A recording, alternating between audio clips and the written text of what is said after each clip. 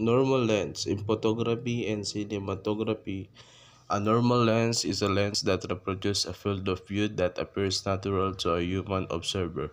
In contrast, depth, compression, and expansion with shorter or long zoom lens, a lens allowing a camera to change smoothly from a long shot to a close-up or vice versa by varying the focal length.